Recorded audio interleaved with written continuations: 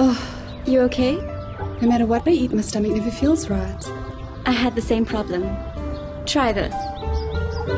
Heartland Foods has a history of making great tasting foods, made with all the goodness of whole grain, rolled oats, oat bran, and honey. Heartland's Bran Crunch, a tasty way to start your high fiber day. Love the taste. Heartland's Bran Crunch. Love the taste.